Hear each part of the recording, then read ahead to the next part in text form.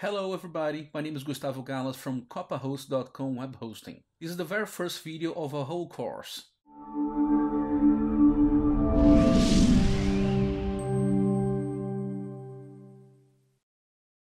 HTML means Hypertext Markup Language. The very first HTML page was written in 1989 in the Stanford University. As the screen of the PCs were or green or black and white, HTML was a very simple and limited language. Nowadays, HTML have lots of resources, lots of possibilities, and in the past it was very simple. In this whole course, we approach all the possibilities of the HTML language. This is a course for the beginners, for those who don't know anything about HTML, don't worry, we are here to help you. We'll show the whole steps to create an HTML page, to manage this page, to make tables, to make colors or format the page. This course includes several videos, each video about a topic, and this is meant for those who have never edited an HTML page in the past. This course is for the very beginners, so if you don't know anything, simply don't worry. We will show you the very first steps to create your HTML page. In this first video, we will approach about how to edit an HTML5 file. We will give you the first impressions about how an HTML file is constructed, we will approach the HTML tags as well. In this course, you are going to use an HTML pad software. First of all, what is an HTML file? An HTML file is simply a text file that the web browser is willing to read and show the contents to the user.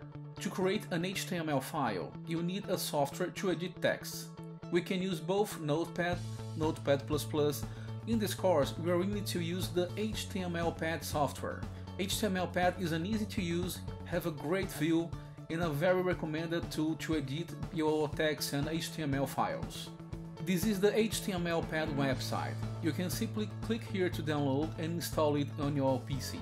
An HTML tag will always start with a smaller sign and end with a greater sign. For instance, I will create my first tags here. So this is an example of a tag. It starts with the smaller signal and ends with the greater signal. Inside this tag, we're going to use the commands of the HTML. A web page on the internet is usually shown by a web server. For instance, copahost.com is a web hosting. We have several servers that serves, that shows, deliver pages to the customers.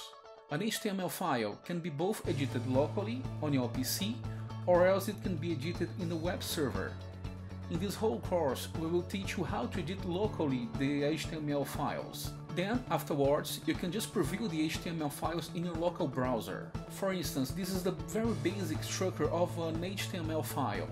The first tag is doctype HTML.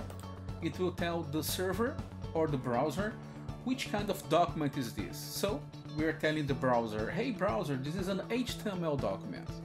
In the next video, we will approach you a very basic HTML file.